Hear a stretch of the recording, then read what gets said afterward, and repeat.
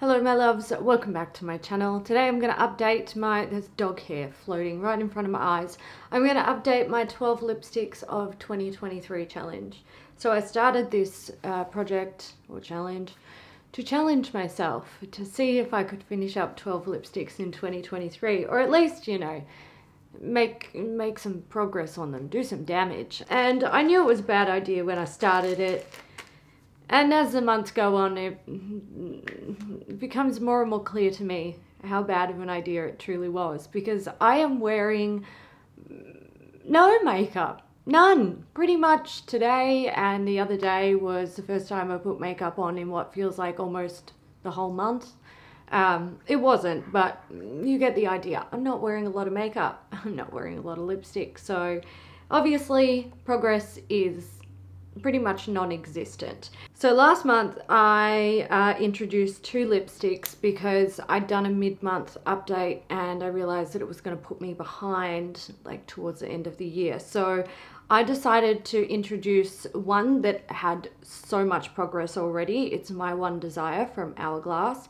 This one was in my project pan last year and that's all I have of this one. So I thought this was an easy one to add now. And I also added this one from Essence, which is the Rosy Glitz Colour Up Shine On lipstick. I am wearing it today and this is how much is in there.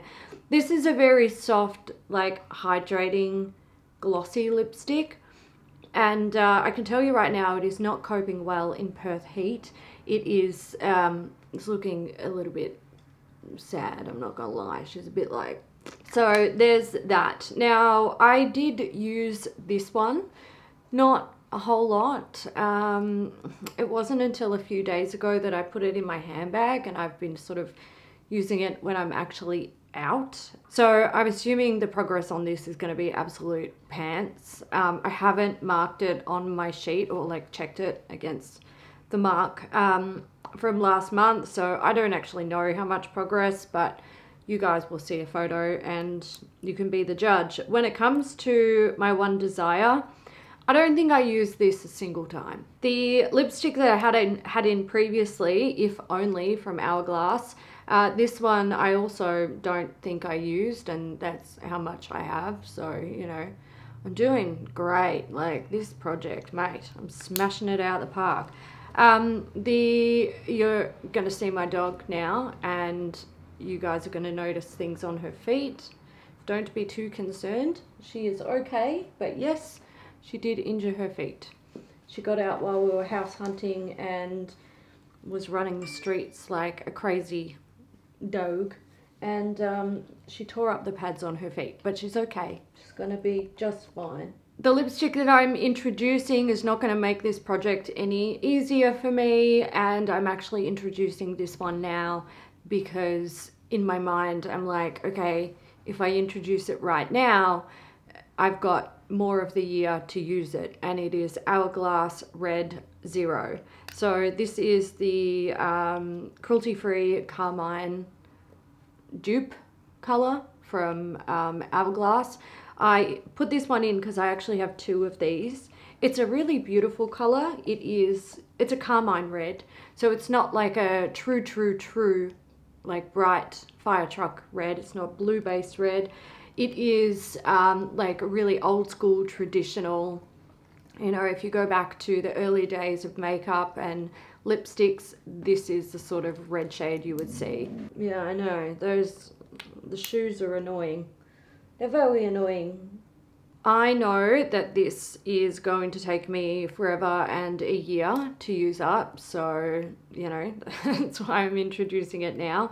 I rarely wear red lipsticks, uh, but I do like this color and I do like this formula, so I would like to have a go at it. I want to talk a little bit about how I'm feeling with this project at the moment, right in this very, very moment. I am not inspired by it. I'm not excited by it. It feels like a little bit of a drain, but that is because I don't feel very well today. I'm very, very tired. Um, life has been super busy recently, so um, I'm at like maximum mental capacity and honestly putting on makeup there is dog hair everywhere for christ's sake um, putting on makeup is uh, like, I wouldn't even say it's bottom of my priority list. Like, it's not even in the same universe as my priority list at the moment. I'm only putting on makeup if I feel like I want a pick me up and we're going out somewhere and I want to look a bit better than I feel, or if I am sitting down to film a video like this. And this is the first time I have filmed a video like this in this room, which is a new place we're staying before we move into our next house. And we've been here for uh, nearly two weeks now. So that kind of gives you an idea of like how I'm feeling about makeup in general. So obviously lipstick is like bottom of the barrel for me at the moment. So I'm not making much progress, which means there's not much like excitement or drive um, surrounding what I'm doing here. I am hoping that like throughout the year that might improve, but I don't actually see it improving probably like for at least two plus months because we we already have another move in the works. So I'm like, I'm tired and I just don't really care about lipstick right now. It is what it is, but I'm not gonna stop doing the project. The project was not just about finishing lipsticks. When I started it, I knew that most likely I wouldn't finish many, if any, of these lipsticks. It was about making progress and it was about having something to focus on. And also when I am using products um, consistently, I find it very easy to decide, you know, do I love this and am I going to continue to use it until I finish it up? Or am I a bit on the fence about it, not really in love with it, and thinking I want to get rid of it? Um, and that has actually been happening with my current makeup bags as well. So, oh, my current makeup bags are very limited. I did a video on them, I think last month, uh, maybe it was earlier this month. I don't know, guys. Every day feels like a month to me at the moment.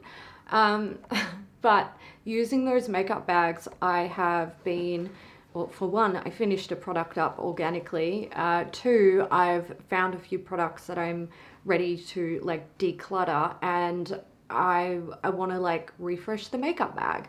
So using things consistently helps me to focus on that rather than, you know, using a new thing every day or whatever. Like that does nothing for me. That just stresses me out. When I look at this project objectively with that point of view, with the current lip products that I've been working on. So, oh, where to go? So these three, I still love them. I've loved them every single time I've used them. I really like the colors.